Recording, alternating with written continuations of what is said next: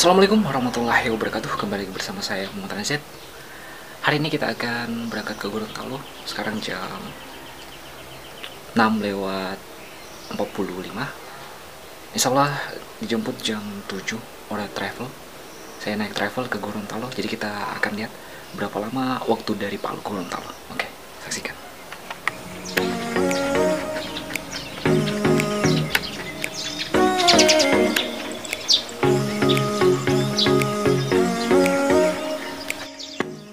Perjalanan ke Gorontalo kali ini adalah perjalanan pertama saya. Dengan menempuh jarak sekitar 600 km lebih dengan waktu 13 jam 37 menit. Saya menggunakan Imam Stainless Travel. Dalam perjalanan ini, saya disuguhkan berbagai pemandangan yang menarik dan indah selama perjalanan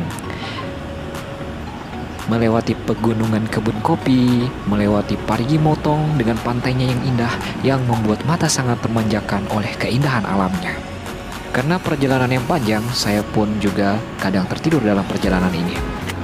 Dalam perjalanan menggunakan travel ini, kami singgah dua kali untuk makan dan isomah. Perlu dicatat ya guys, karena perjalanan yang panjang dan juga melewati pegunungan yang berkelok-kelok, jangan lupa membawa obat anti muntah ya. Dan juga yang paling dibutuhkan adalah mengisi energi dengan makan secukupnya agar perutnya tidak kosong ya guys.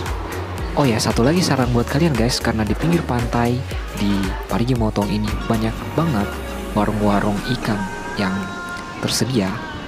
Sangat rekomendasi buat kalian untuk jangan melewatkan makan ikan di sini karena sangat enak-enak ya guys.